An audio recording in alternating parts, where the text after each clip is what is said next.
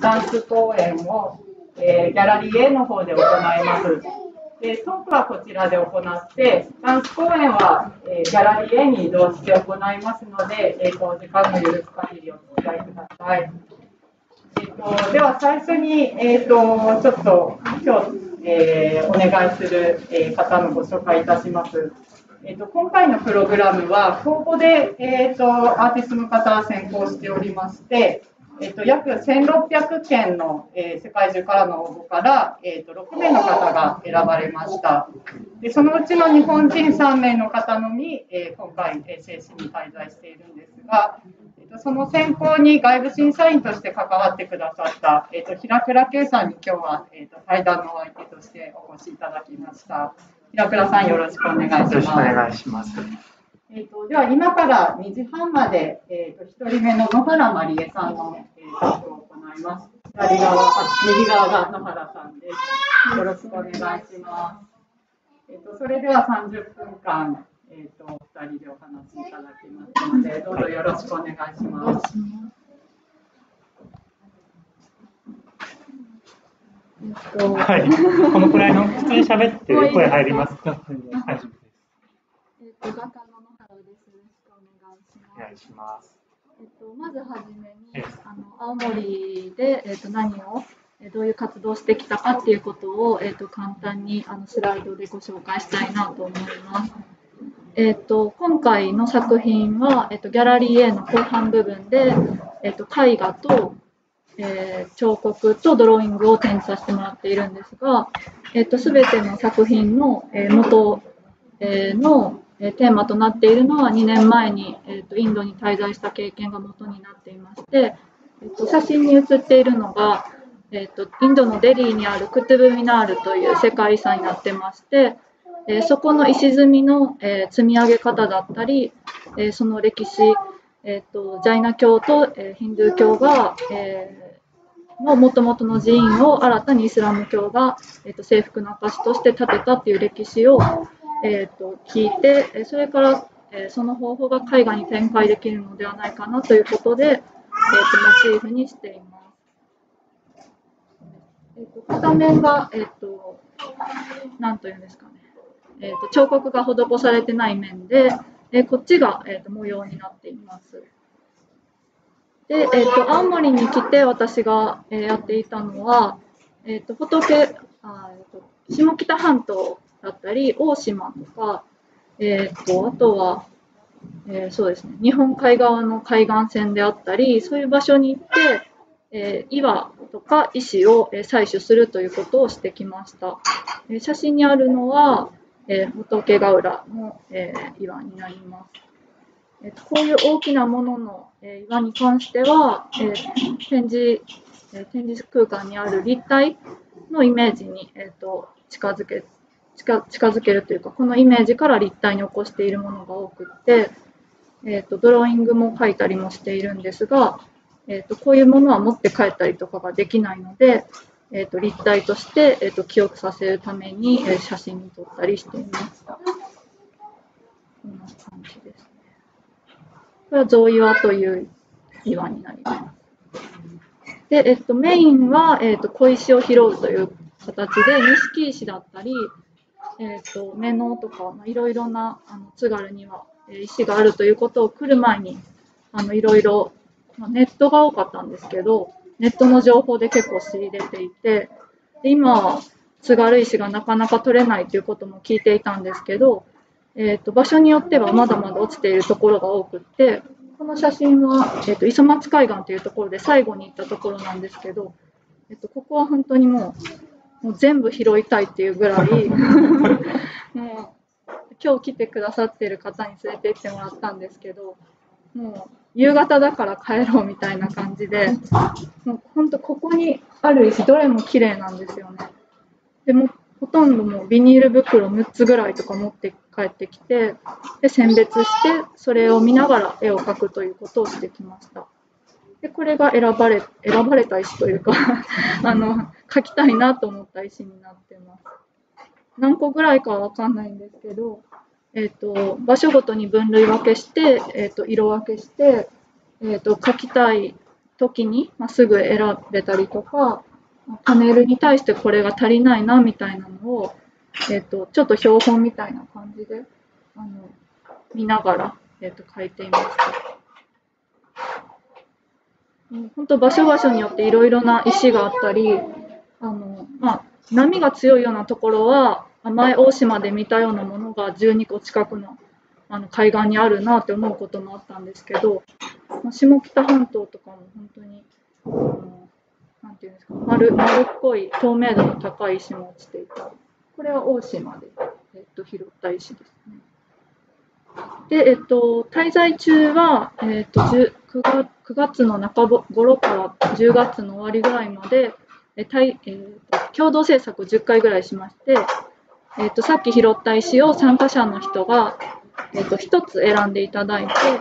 でそれその石の印象とかテクスチャーを、えー、と絵の具とあとメディウムを使ってえパネルに描いていくっていうことをしていきました。でもともとは私が、えっとまあ、大阪のスタジオなんですけど大阪である程度の、えっと、パネルとスタジオを描いていてなんか洋服を選ぶみたいに石の一番下の下地が、えー、何色であるかっていうことを参加者の人に、まあ、一緒に考えたりとかしながらこの中から1枚を選んでもらってでその後は相談しながらその石を見て次は何色の色をいったらいいかとかどのメディウムとどの道具を使っていったらいいかっていうのを、えーと、その人それぞれの、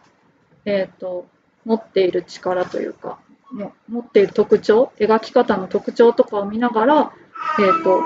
随時こう描き方を提案していくっていう、えー、と方法で描いていきました。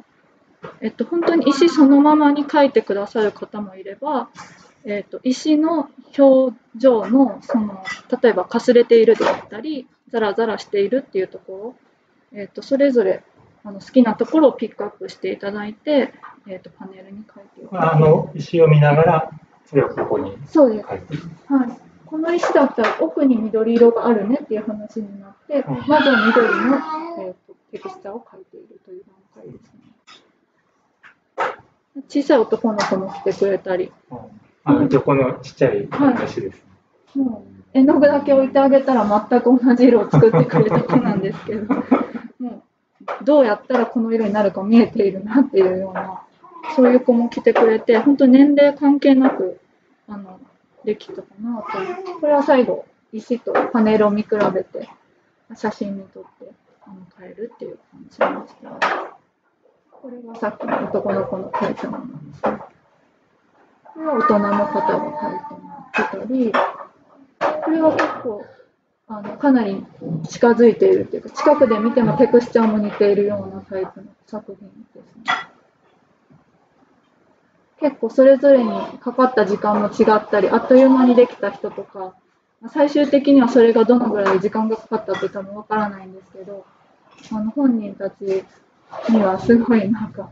あの思ったより難しかったとか、この人は簡単に書けてそうなのに実はこれ時間かかってそうだねとか書いてみてわかるみたいなことも多くてそれはやっていて面白かったです。こんな感じで続いていって、えーとえー、さっきのパネルが参加者の方は26枚ぐらい書いてもらって、えー、最終的には今222枚かになっているんですけども、えっ、と、その組み合わせは、えっ、と、こういう床、あの、ACAC のスタジオの床で考えて、最後、えっ、と、ギャラリーに設置していただいたんですけど、まあ、かけてみてやっぱり違うなと思うところもあるので、向こうでいろいろ変えながら、えっ、と、今も、えっ、と、公開制作は続いているんですけども、パネルの位置は大体決まって、これから、中に書いている、えドローイングから、えっ、と、なんていうんですか、展開していった黒い黒い形にするかもちょっと今悩んでるんですけども結構うんと壁に絵を描けたまま描くっていう経験があんまりこのぐらいのサイズになるとなくってで今回は、えっと、公開制作をさせてもらえるっていうことでずっと描けながらちょっと考えてこれからどうしていこうかなっていうのを、あと3週間ぐらい、えっと、時間があるので、展示会場で考えつつ書くっていうようなことを考えています。これは立体の途中とかです。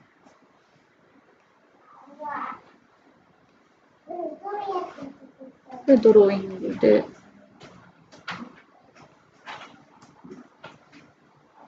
えーと、立体に関しては、えーと、今作って展示しているものをいろんな方向から写真に撮って、えーと、もともとはドロー、えーと、このドローイングを見ながら正確な形に立体に起こしていましてその立体を最終的にはパネルの方の黒い形に、えー、と移していこうと思っているんですけども、えー、と平面でもともと描いているのでそれが立体になった時に、えー、とどういうふうな後ろ側であったり側面底であったりとかっていうことを、えー、と今まで、えー、と想像でしかやったことがなくってそれをまあ岩とか見つつそのあ青森の岩とかを見つつそれが実際に立つのかとか、ミニチュアにした時にやっぱり岩ってこうゴツゴツしたものの上になんとか立っているみたいなものも多いなと思ってでも私はフラットな面に立てるので、えー、と実際に立たなかったりすることも、えー、とあってその、まあ、折り合いをつけつつ、えー、その中で美しい形はどういうものなのかっていうのを、まあ、立体の方法とかも変えながら、えー、この後これをまた、えー、と型紙にしたりもう一回ドローイングに書いたりしてペインティングにどう写すかっていうのを、えー、と考えようかなと思っています。一回ドローイングして立体にした後、それをまた違う角度から眺めたものがもう一回二次元になってそうですね。であの絵画にされて、はい。はい、今はその立体ができたという段階になっています、うん、まあ、余談ではあの銅版画をしたりとかもここではして、はい、今は今の活動としてはこの辺りまでですね、はい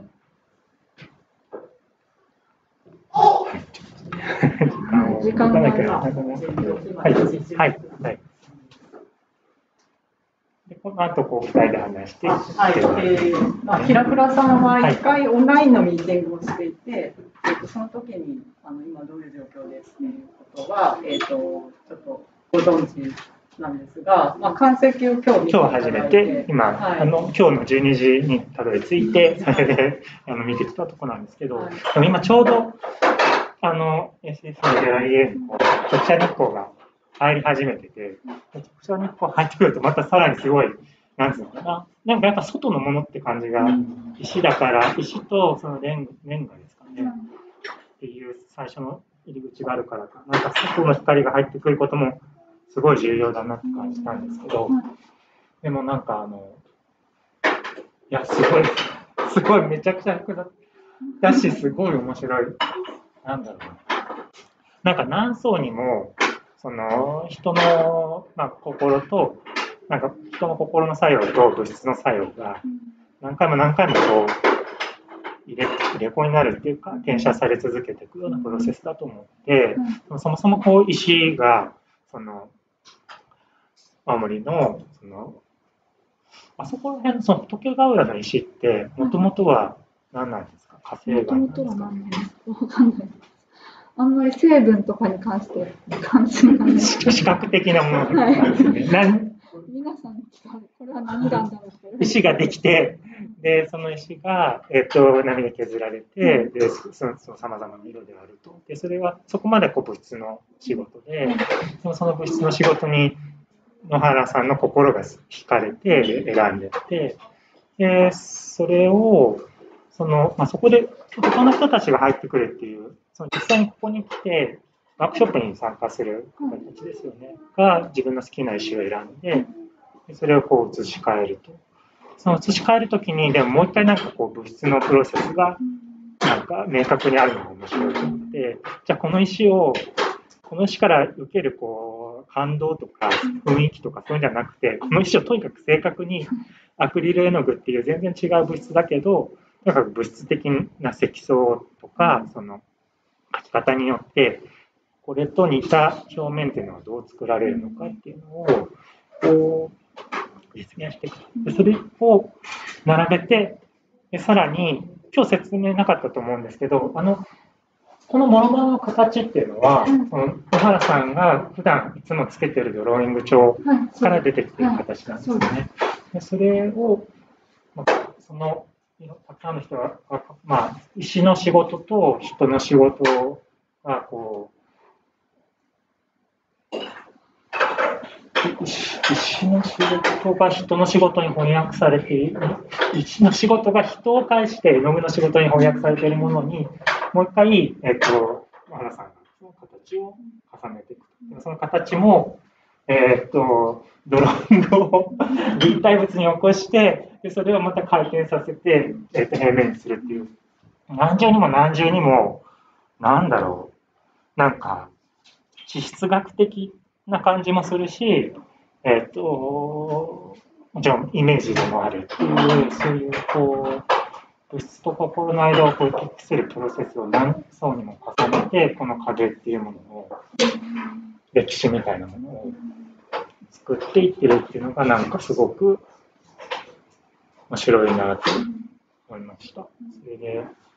まあ、その最初にそのこの間、まあ、オンラインでその僕横浜に住んでるんですけどこの作品のことを最初に見せていただいた時はその、まあ、これらの一枚一枚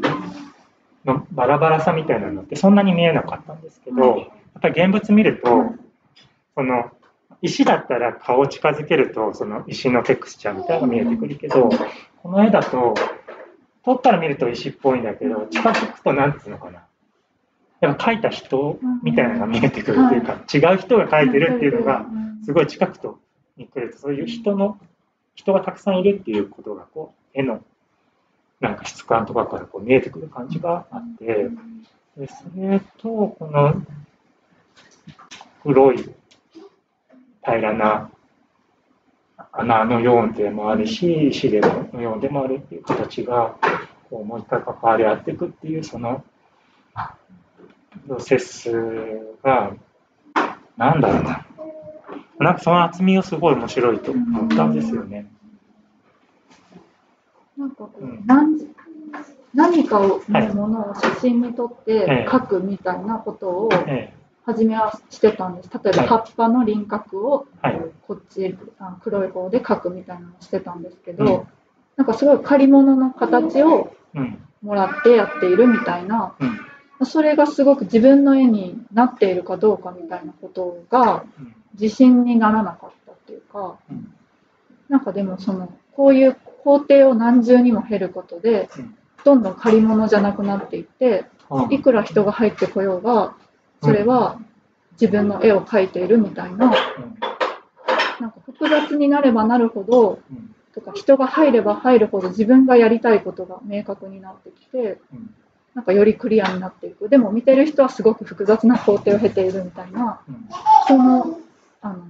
ていうんですかね。反反対なところっていうか、うん、違うなと思うんですけど、なんか、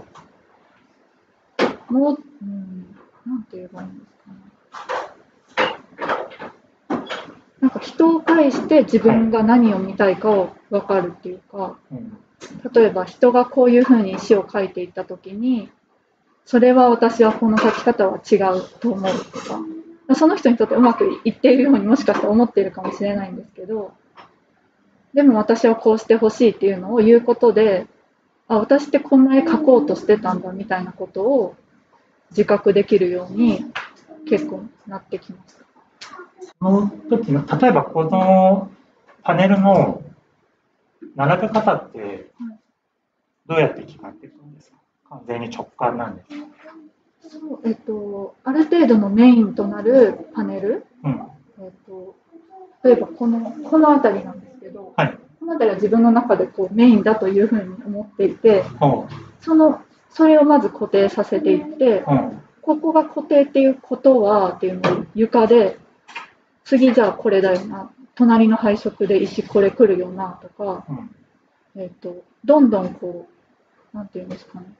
ここに白がある、緑があるからとかっていうふうにこう、メインからの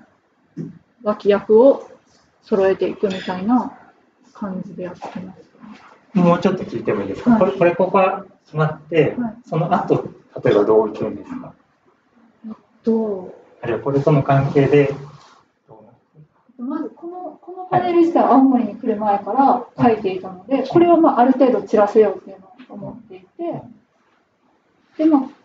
とりあえずは列あたりでこのあたりがいきますかね。ああと、特に、えーと、人の目線が来るところで見てほしいもの、そういう参加者の人が書いてくれて、特にテクスチャーがいいなと思ったものを真ん中、少し中央あたりに置いたり。このこっち来てから書いたその黒い模様ってあるあまだないです。あそれが今日から？はいそうです。この場所でのあの公開制作でそれが書かれてくるということなんですね。はい、でそれがさっきおっしゃってた黒じゃないかもしれないそうですね。か、いろいろ石を見て、うん、ある程度のコントラストがついていれば形として認識できるっていうのを、実際にこの石の中で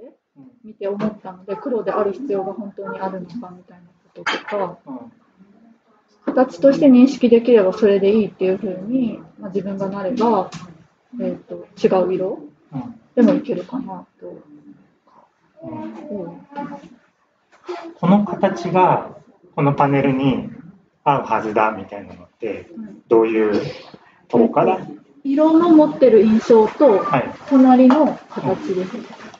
隣が何隣が何が来てるかっていう。なるほど。そのパネルの隣に何の形があり、は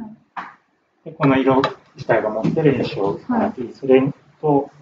でこう設定こうなんていうかバチッとこう合わせるっていう感じなんですか？ずれてるっていう感じ。合ってると思います。合ってるはい、例えばこれとかまだ書いてないんですよね、うん、この辺りとかは、うん、これは下地が移動する可能性があるとか、うん、だけどこの辺りは参加者の人が書いてくれたり、まあ、自分の中でもこれはできているっていうパネルの上に来る形は、えーと、隣り合わせの形と、えー、そのパネルの持ってる色の組み合わせの2種類から中の形を決定するなんかその決め方のことを聞きしたいなと思ったのあのドローイングすごい魅力的だったんですけど、あのそこにこう定規で引いたような線があって、で今回のその配布されてる説明の中にその計測っていう言葉が使われてて。その物差し、その物の見方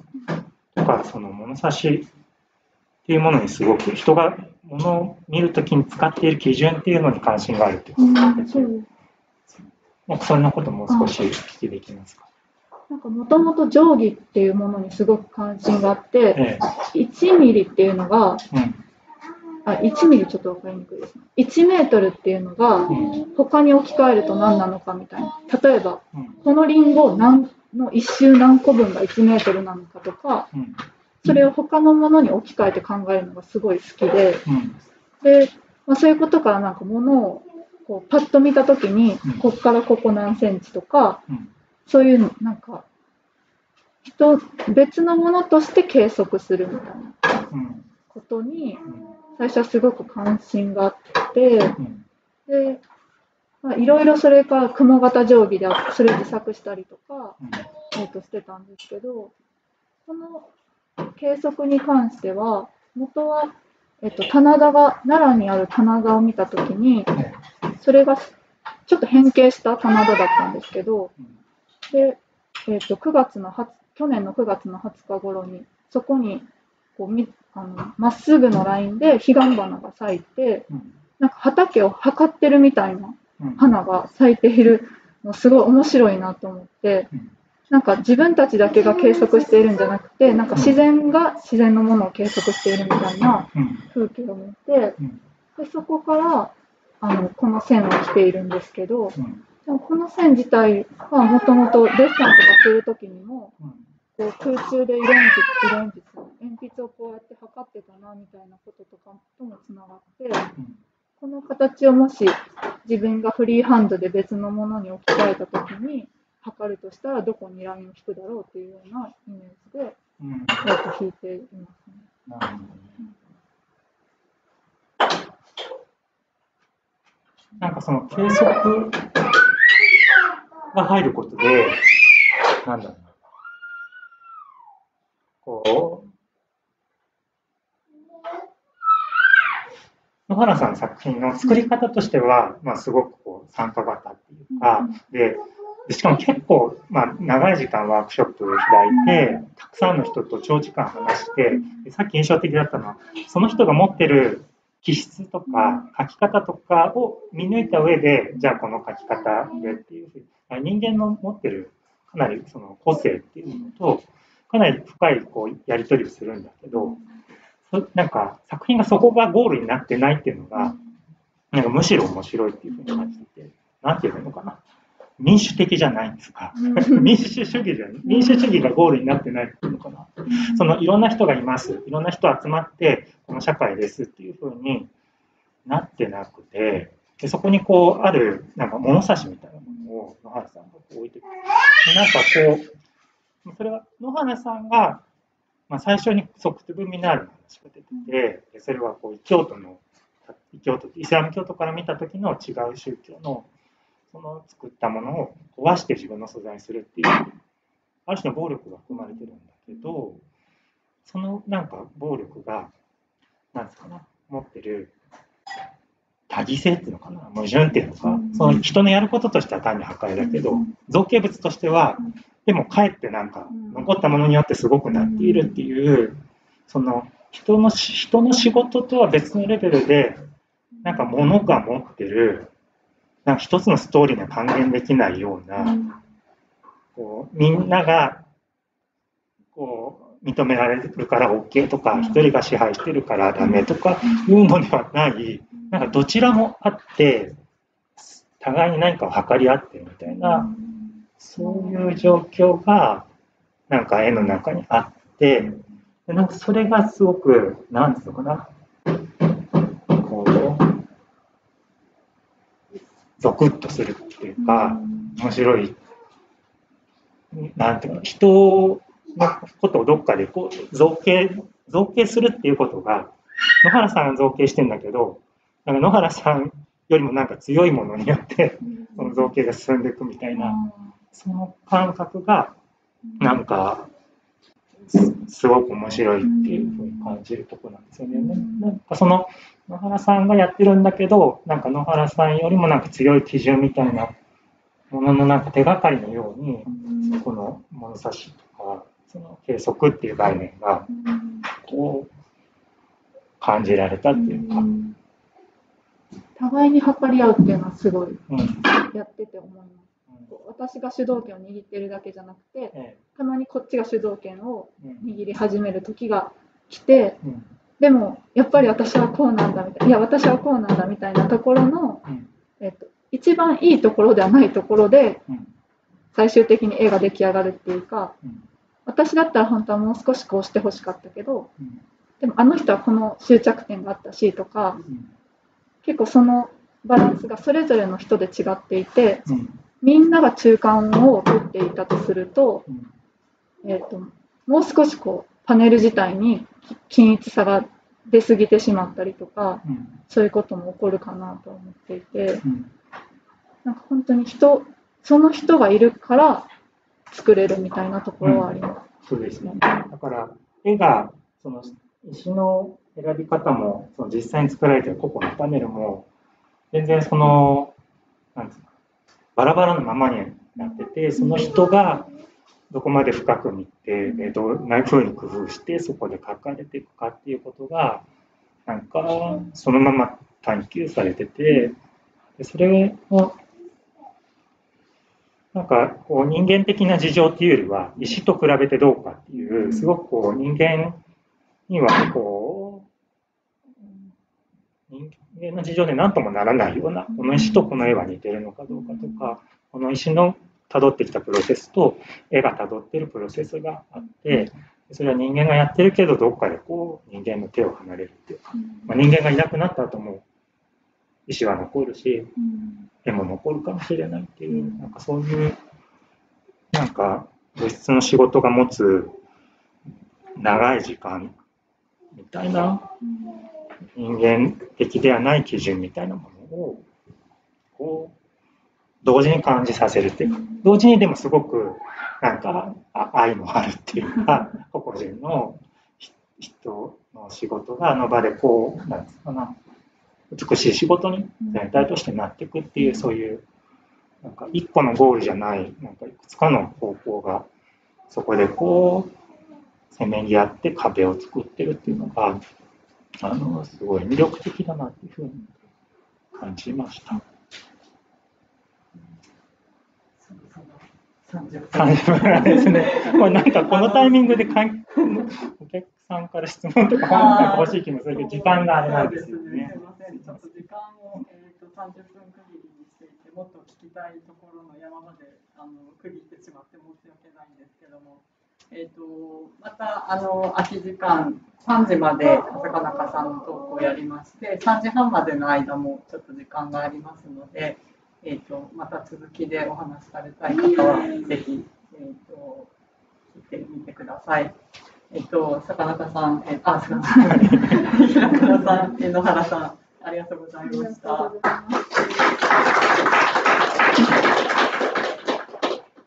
ー、と、では、ちょっと、あの機材の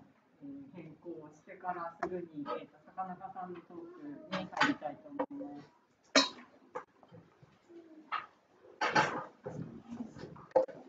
がとうございます。します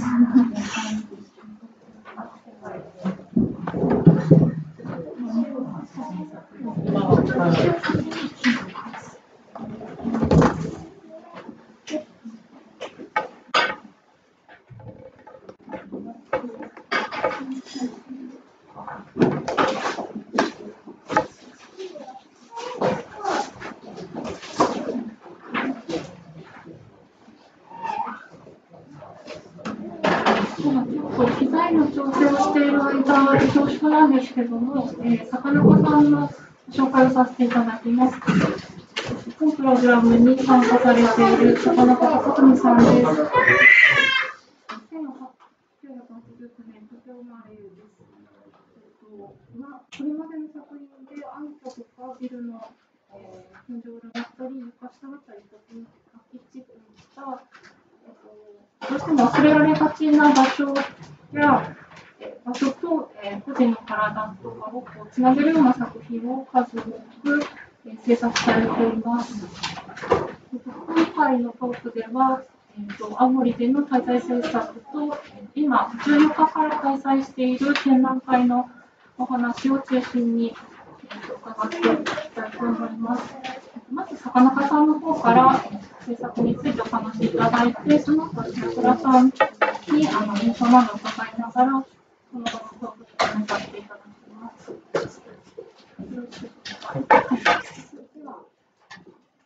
はい。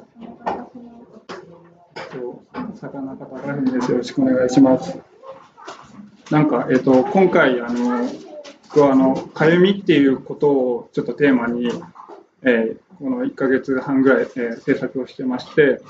で、まあ、なぜかゆみなのかっていうところなんですけれども、まあ、僕ちょっと軽いアトピーがあって、それであの、ちょうどこのコンペのプランを書いてる時ぐらいに、あ、普段そんなひどくないんですけど、なんか、その時期がちょっとこうピークで、それであの、妻にこう寝てる時に、なんかボリボリ無意識に書いてるよって言われて、それで結構なんかこれはなんかすごい、すごいことなんじゃないかって思って、それであの、あの、で、ちょうどあの、この ACAC もなんか森の中にあって、宿舎があって、なんか、療養所みたいだなと思って、それであの、えアトピーをテーマにやりますっていうふうにあのアプライしたんですよね。で、まあ、なんでアトピー、かゆみが面白いのかなって思った理由みたいなのを自分でちょっと考えてみたら、なんか多分こう、近代的な体とか、あとなんか大人の体っていうのは、なんか基本的になんかこう、自分の意思で自分の体をコントロールできるとか、なんかこの生活レベルで、なんか手がこう動かないとか、いうこともあるけれども、なんかあのダンスとかスポーツとかにおいても、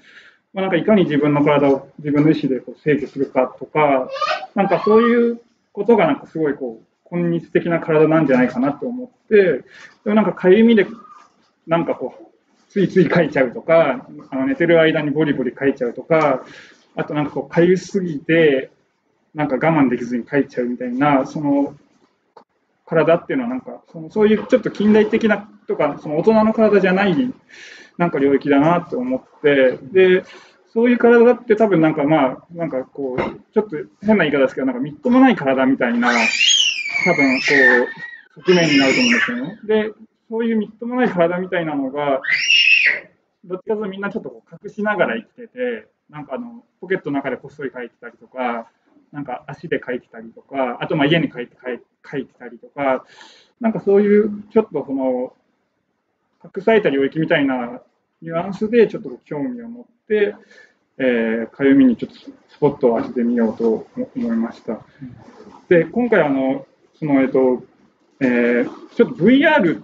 を使ってるんですね。VR 使ってるか、まあ、VR で見るわけじゃないんですけれども、あの、各、えー、あ、これ分かりやすいですね。手にあのグローブをつけてもらって、で、こう、部屋にこう、キャプチャーするセンサーをつけて、でまあ、ちょっと部屋で30分ぐらい、こう、あの、あ、そう、アトピーの人にまず参加してもらってですね。で、あの、書いてもらうんですよね。なんかその30分ぐらいの中で。まあ、ちょっとこれ、これはまあ、あの、短い時間の中なんで、ちょっとかゆみにまあフォーカスしてやってくださいっていう形でやってるんですけども、それであの手の動きを、えー、位置情報を測定して、えー、それでですね、まあ、こういう感じであの書いた動きが、まあ、あの形になって吐き出されるんですよね。で、これを、まあえっと、7体分かな、作ったんですかね。7人のアトピーの形みたいなのを、えー、作って、でまあ、人によってこうなんか執着する部分とか、ボリュームがあの結構違くて、あ、これが一番すごすごいんですけど、なんかあの、そう。で基本的にはその体に沿ったラインができるけれども、なんかあの、なんか手とかが痒かったら、こう、なんかまた体から離れてまたボリュームが出てくるみたいな。でちょっとまあ、その、撮ってる時間とか、あの、は人それぞれなので、もう痒くないですみたいな5分ぐらいで上がる人もいれば、あの30分みっちり書かれていく方もいて、なんかあのそのまボリューム感とか全然人それぞれなんですけども、なんかまあそれぞれの形が、えー、できる、できできを作り上げるって感じですね。で、なんかまあなぜ VR かみたいなところなんですけれども、まままず1個はなんかその傷跡みたいなのにフォーカスするのがあんまテンション上がらないなってちょっと思ったんですよね。なんかあの、えー、なんかその書くのも自分だし、書かれるのも自分だけども、なんかその間をうまくちょっとドキュメント取る風にスッと入っていけるのは、このなんか VR とか CG なんじゃないかなと思って、多分なんかその粘土をちょっと代理で引っかくみたいなことも考えたんですけれども、もうそれよりもなんかその、なんかドキュメントとして取れるかなと思って、この VR の機械を使って、えー、ました。でで、でそれをですね、えっと、ちょっと今回はその映像に、えー、起こしたんですよね。なんかその、そのなんか自分のから意思となんかどうにもならない体の間に出てきたイメージみたいなのをあの、はい、その CG の世界に配置してその中に架空のカメラと、まあ、架空のあのなんか時間設定みたいなのを置いて、その中であの僕があの映画撮るみたいに、こうその体体というかその形を撮っていくっていうふうにして、映像を作ったのがこっちで、こっちはもう単純に僕が寝てる間に書くのをあのあの、えー、映像で撮りながら同時にキャプチャーもしてしたっていうちょっとあの、まあ、説明的なビデオですね。その状態の時は、田中さんは寝てる寝てて、はい、でそれでそれであの撮りながら、えー、こう動きもあって、後でその映像と CG のあの吐き出されたデータを組み合わせていくみたいな感じで、ちょっとあのオート自動筆記みたいな感じで作ってですね。であこれが、まあ、最初 最初になんかこう、かゆみに興味が出たときにあの、皮膚科の体のやつみたいなのにちょっと、うん、今日、今日、かゆさを感じたところを書くっていうのをちょ、ちょっとやってみて、なんかそう、で、なんかこう、なんか前より後ろの方がまあより書いててでそれってなぜかなと思ったらなんかこう自分から見えないとこだからこうなんか自分がより書きやすいというかちょっとこう荒れててもなんか全然自分の目から見えなければそんなにそれ心理的なダメージにならないからそれはなんかあのあんまりあのだダメになっても大丈夫みたいな感じでで自分の体がなんかその自分にとっての見る見られるのマップみたいになってるのかなと思ってであとまあ他人から見えるところ見えないところとか自分から見えるところ見えないところって組み合わさって結果お尻が一番ひどくなるっていうのとかががなんか興味深いなって思いました。で、えー、とそれで、えーとまあ、そのいろんなアトピーアトピーとか、まあ、単純に乾燥肌みたいな人も来られて、で、えー、6人分のキャプチャーを撮らせてもらって、で、それで、えっと、1回映像に起こして、えっと、たのもやったんですけれども、なんか、ちょっとまあ、その、映像のちょっと、どっか遠い場所みたいな想定で、えー、撮ったものもあるんですが、が今展示されてるんですけれども、なんか、えっと、それ終わった後に、なんか、自分で一回ちょっと着てみたいなと思って、でこれは人人のかゆみと僕のかゆみのコラボなんですよね。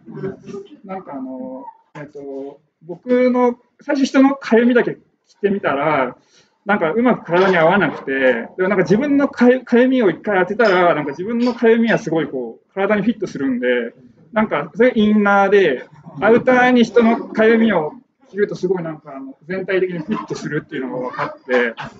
それでなんか、ああ、なんか結構かっこいいなみたいな感じで、あのそう、そうなんですよね。すごいかっこよくて、なんか、まあこれはあの CG なんですけど、なんかもう 3D プリンターで出すのもやぶさかではない感じ なんかしつつ、なんかあの、なんか人の全然関係ない人のなんか分かりようのないかゆみみたいなのを、あの、身にまとえるというか、ちょっと、まあこれ結構3日ぐらい前にやってみたんですけど、興奮している状態でおります。はい今これが最新バージョンで進化しつつあるっていう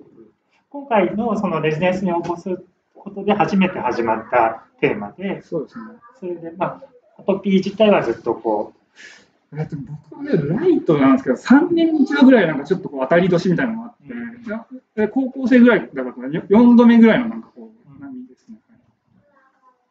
今、それを一回外に置き換えてみたら、なんかいろいろなことが始まってるっていうことをするんですけど、い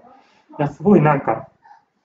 これもすごいこう、自分と他人と体と形とが様々にこう、組み入り、組み合っている、すごい面白い作品だと思うんですけど、実際あの展示の中で、音も、大きな音も鳴ってるじゃないですか。あれはどういう？あれはちょっとですね、なんかあの、この、ちょっとこの施設が6時になると、おーってなんかこう音が鳴るんですよ。なんかセントラルヒーティングみたいな。なんかそれが僕が寝てる時のなんかこう体にすごいなんかこうずっとゴーってなってて、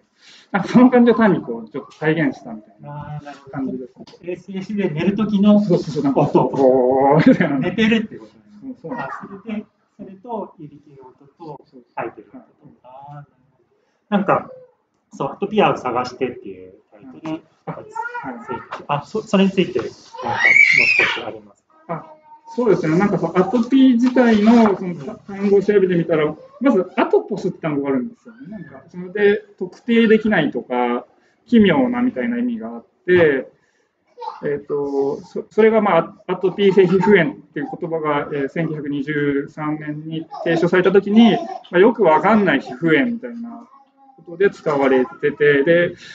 でまあ、その100年ぐらいアトピーの歴史みたいなのがあって、もちろんその間アレルギーについての調査がものすごい進んでるわけですけれども、なんかでも、基本的にはやっぱりなんか、トータルでよくわかんないものって扱われて、方されてて、でそのせいもあって、なかなか治んないし、原因もはっきりしないから、なんかこう、割と解釈がいっぱいあって、で、そのなんかいろんな解釈のありようとか、あその、その、かゆみがどっから来たのかみたいな、内側から来てるのか、外側から来てるのかみたいな、なんかそういうわけわかんなさみたいないうのがすごいアトピーの、まあ、言い方悪いですけど魅力だなと思って。でそれで、えっと、そうですね。アトピアって言葉は、アトポスの一個前の言葉なんですね。なんかそれで、あの場所がないっていう意味なんですよね。なんか、そのユートピアとなんか近いなと思って、それでアトピア。あの、なんかこう夜明けなのか夕暮れなのかわかんないところに、あの、形たちがいるのが、そのどこでもない場所っていう風景っていうことなんですそういうイメージですね。なんか、なんだろうな、こう、まあ、今日、その作品見て、すごく特に感じたことなんですけど、そのまあ、寝てる映像もあるかその眠りっていうこととも結びついてて、その眠ってる時に自分じゃない自分みたいなものがこう現れてて、でよく無意識っていう言葉言いますけど、そのアンコンシャスですけど、最近アンコンシャスに対してノンコンシャスっていう言葉が作られてて、非意識って日本語で訳すんですけど、アンコンシャスってこうフロイトとかが探求した抑圧されてる欲望とか、なんかそういうものですけど、非意識っていうのは、抑圧とかですらなくて、単純にもう自分の意識ではこうアクセスできないけど、こう自分の体が起きてる事柄っていう。で、なんかその、トピーで描いてる体で、それは体の形もやってることも、その人そのものなんだけど、ちょうどその人がまるっとこう裏返って、その人なんだけど全くその人じゃない。っていうような、なんかそのノンコンシャスな本人みたいなものが、こう、知らない形で、でもすごいリアリティで、こう、あの世界に生息してるみたいな、なんかそういうこう、なんか20世紀にそういうこうフロイトが見つけたアンコンシャスみたいなのをどうやってこう絵に描くかってことをいろいろレアリストたちがこうやったりしたけど、坂中さんやってるのはむしろこうノンコンシャスの探求。でそれがこう生息する風景みたいなのをこう作り出してる感じがしてそれがすごくなんていうかな面白いしこうなんですかね、ユーモラスでもある。でも一方で、そのあの部屋の中で、実際のアトピーを、まあ、すごく辛いアトピーをこう長年にわたってこう患っている方とかのとも話をされててでそれは自分の体に起きることとしてはすごく辛いことだったりあの、まあ、さっきのマンさんのそのお尻は自分から見えないからっていう話もすごくあの印象的だったんですけどアトピーっていうのがかゆみで辛いっていうことだけじゃなくて、えっと、その書いた結果が他人にどう見られるかとか、で他人にどう見られてるって自分がどう感じるかとか、そういう結構その、痒さだけではないこう社会的だったり心理的だったりするこう辛さみたいなものをこう呼び起こすものでもあってそれをこう言葉にして話したり形として外に出すとかゆみっていうものなんかもうちょっとこう辛いんだけど違うものとしてこうあの扱ったり感じたりできるようになってくるっていうなんかそのそのこう両極みたいなすごく抽象的な抽象化された世界と全然そんなことはもちろんできないんだけどっていうその両方がこう行き来されてるのがあのなんていうのかな。あのすごい新しい技術使ってるんだけどすごく手作り、手作りっていうのかな、生きてる素の実感みたいなものから離れないで、なんか仕事があるっていうことが、あの、うん、いいなっていうふうに感じました。で、なんかこれはそれでさらにもう一歩そこから出るって感じですよね。なんかもうちょっとこう、なんかその、省いていく そのなんかイメージの世界に一回特にやったんだけど、はい、なんかもう一回ちょっと体の方にも戻してみようみたいな感じで。うん、そこでもなんかその、自分のかゆみを切るとそれがインナーとしてこうしっくりきてっていう話とかもすごく面白いですよね。体っていうものを、あと身体なんだけど、手の仕事でもあって、そうです。ね、うん、なんかこう手っていうものって、まあ、人間にとってすごい重要で、目と手ってこうよくこういろんなところで対比されて、手っていうのは道具を作るんだとかいう文字を書くんだって言われるけど、書くっていう手の仕事について、なんか注目されることってあんまりないと思うんです。でもこれはまさにもう手の集合で、手の仕事の集合で、まあ、手っていうものが、意識的に道具作を使ったり、ものを、文章を書いたりとかと全然違うところで、自分の皮膚っていうかな、自分の体に対してやってることを、こう、視覚化したときに、なんか、なんですか、身身体性とかいうときって、割とそれはなんか、自分の体に近いものとしてこう考えられる感じがするんだけど、この、ここにあるのは体なんだけど、自分から遠いっていうか、自分がこう一回裏返ってるっていうか、そういうところが、なんか、だけど近いから自分が書いた奇跡が切れて、でも複雑だから他のものと絡み合わせることもできてっていう、そういうこう、なんか全然こう知らない 仕事の領域を突然可視化されてるっていう感じがします。書くもの、絵の字を書くも絵を描くも、まあ、音で描くですね、確かに。これ、これも描くじゃないですか。そうですね。なんか、これもなんかこう、クリエイティブな作業の仲間みたいな、なんか、三つ目の描く。三つ目の描くで、なんか、そいつだけ、こう、芸術から外されてるのが、なんか、変だな、みたいな、なんか、感じで、こう、描くで。で、あと、そう、手の仕事だけど、なんか、描いてる時の、こう、なんかその気持ちみたいなのをフォーカスしてみたら、なんか、手はすごいやっぱ意識から離れてて、はい、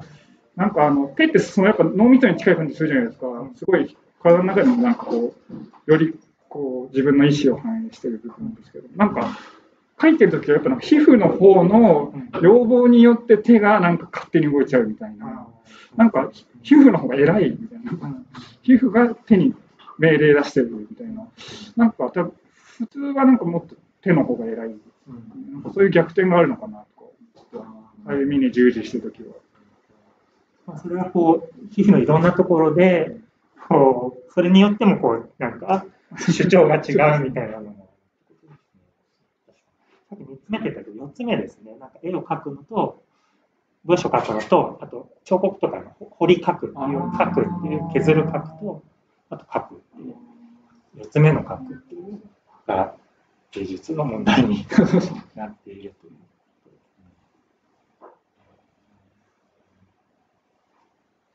なんかこの、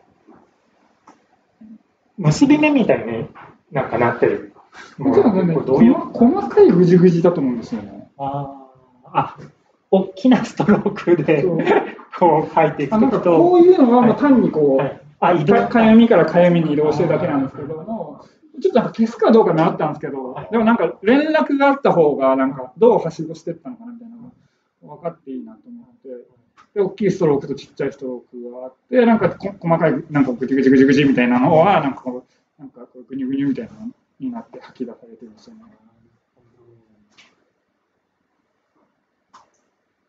まあ、その100%かゆ全部がかゆみってわけじゃないんですけど、うんうんうん、その無意識のいろんな動きが入ってるんだけど、でもこういうぐちぐちは結構かゆみ。とか、あとまあ、やっぱ量でこう執着してる部分が単純にこうボリュームを伴うんで。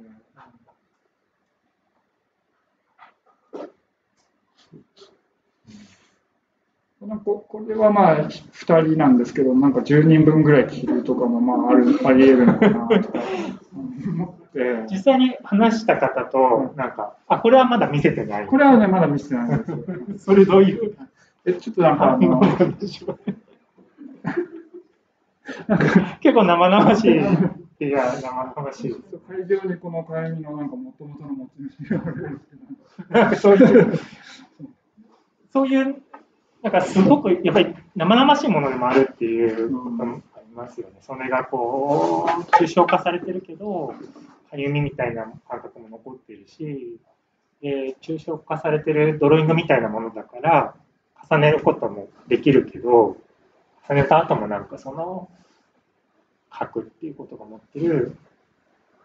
あ、そうそう。辛さも一方であるけど、快感ともやっぱり結びついてるってことですよね。ねどっちかというと快感の方が強くて、うんうん、なんかその快感によって、かゆみは入り口で、なんかその、多分本当に体がコントロールできなくなるの快感みたいな部分で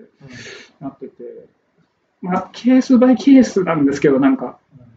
痒くてポリポリやって終わりの時もあるけど、まあ、蚊に刺された時とか結構一生懸命書いたりするじゃないですか。あそうですね。なんかああいう時はなんか完全にもう気持ちよさによってなんか体と意識がバキッとこうあもうもう書くのやめた方がいいなとか思ってもあと3回だけとかなんか言って書いてる時はなんか完全にズバッとなんか快感で体がこうコントロールできなくなってるなみたいな。だから快感の形でもあるという。快感だし、こう傷つけることでもあるしっていうと、時間もありますよね。その今現在っていうものが持ってる快感と、まあ、後からそのするとあ書かなきゃよかったっていう気持ちになったりとか、あとには痛みが残ったりとかっていうそういうこう時間のによる違いみたいなものが含まれてるかもしれない。そうと5分ぐらい時間が残ってるので、また会場からご質問あれば、相談して、書いていただく。3次元化する予定はあるんですかあの 3D プリンターでってことですよね。それもまあ、なんか、あの、やってみたくもありますが、しかしなんか、すごく、ものとして出てきたら、それはなんか、もう強すぎてかゆみからちょっと外れるのかなという気もしなくもないみたいなところですね。なんかでも見積もり取ったら100万ぐらいって言われても、もうもうこれについて考えるのやめようみたいな。可能性としてはある。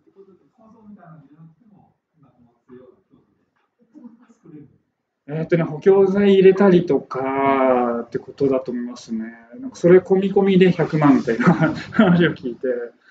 なんでこのかゆみのための100万って。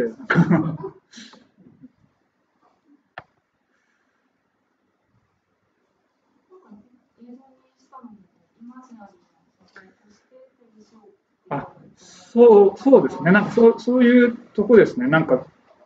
ちょっと重さの持たないそのかゆみみたいなのにをイメージにしようと思ったので、なんかそれなんか重さを持ったものにするのは、まあ、ちょっと優先順位的には低い感じですね。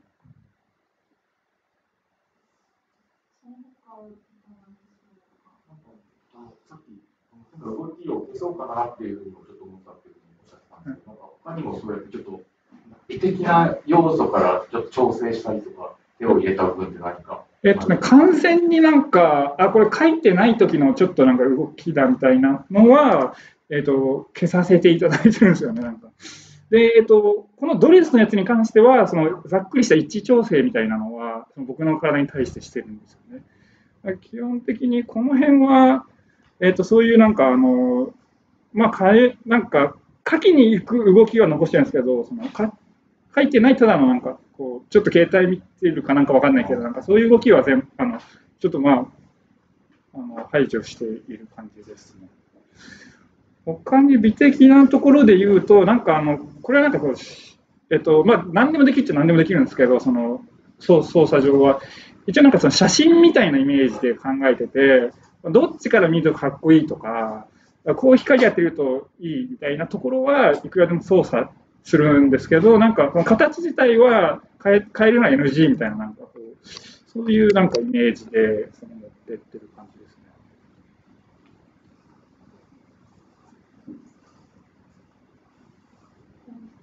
ですね。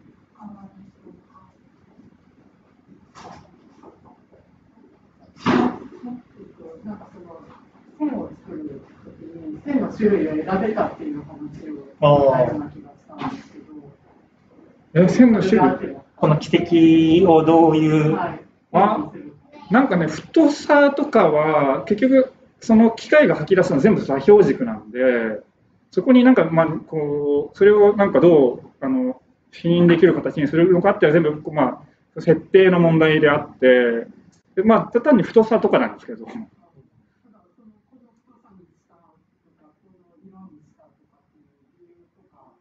えっとですね、色は基本的になんかあのもちろんなんかその何か色を使ってできることもいっぱいあるとは思うんですがまだちょっとなんかそこに関してはあの手をつけてないのでなんか特に意味はありませんという白なんですよね今のところ。であの映像の方でいろんな色に見えるのはそのなんか周りの光の色でちょっとその黄色に見えた青っぽく見えたりするっていう感じでで太さはですね指の太さのイメージぐらいでこうあのこれは出しててちょうどなんか粘土みたいなのに引っかいたら出るであろう太さみたいなののなんかネガポジ逆ぐらいの太さにととりあえずしてるみたいなところですね。こうなんか細くっていうか潰れたりしてるところっていうのはなんかどういうことなんですか、ね、こう指の太さだけどなんか場合によってこうねじれてねじれたり。えっとね、ちょっとそのえー、っとねちょっとこうんですよまままん丸じゃなくて、えちょっと潰れたチューブみたいな感じなんですよね。なんか手の向きがこうあ向きを向きが出してるんですね。そう向きを出してただそのそその辺がどのぐらいこう正確かっていうのはちょっと僕もなんかあのあ怪しくて。回転してるのに一応取ってるはずなんですよ。ただまあその辺はちょっと機械がどんぐらい正確なのかはちょっと僕もよく分かってはいないんですが、まあ、多分ここの向きとこの向きは多分区別されているんだろうなみたいなそれが多分このちょっと,、えーと、ねじれ感が出てるやつだと思いますね。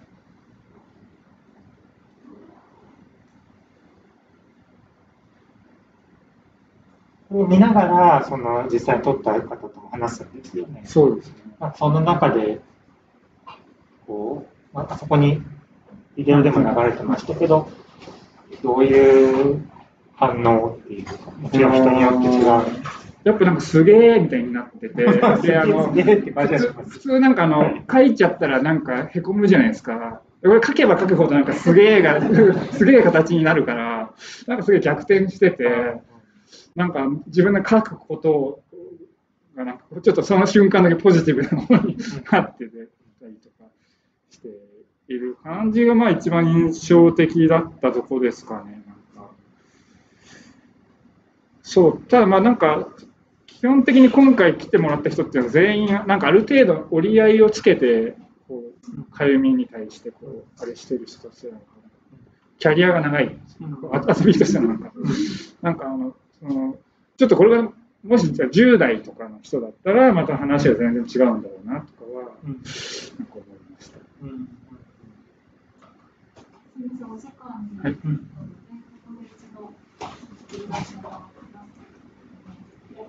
ありがとうございました。